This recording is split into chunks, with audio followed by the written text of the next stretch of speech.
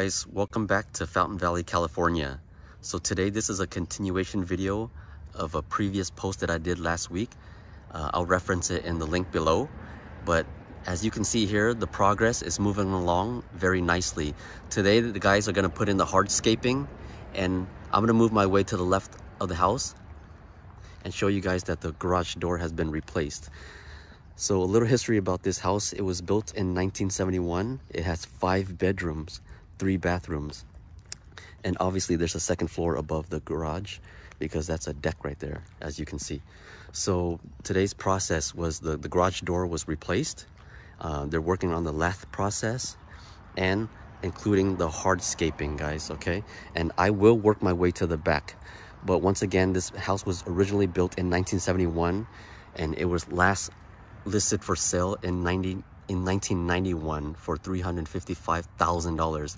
As you can imagine it, and nowadays it's worth north of a million dollars. It was a great investment on the purchases purchaser's um, decision. So I'm gonna make my way over here and show you guys the hardscaping a little bit and the pavers that they're gonna lay down. Horizon Construction and Remodeling, guys. Reach out to them for any construction related services. So here's the pavers that they're gonna lay down. Uh, they're working on the dirt right now. And as you can see though, the new windows have been put in and the garage door. It's very modern. This house already had curb appeal, but the homeowners chose to make it look nicer and it will be once completed. Let's make our way to the back. So from the last video, guys, they put in the stucco, okay? So it's smooth now instead of textured, which is a longer process.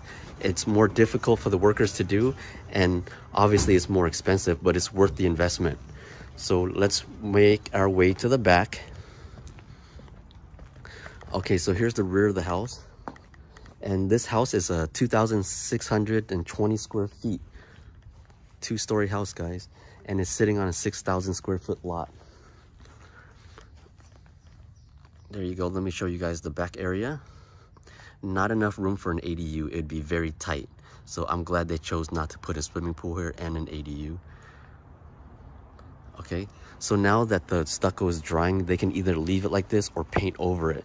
It's very smooth and very modern and great attention to detail, guys. Good job on the worker's part. There you go. There you have it.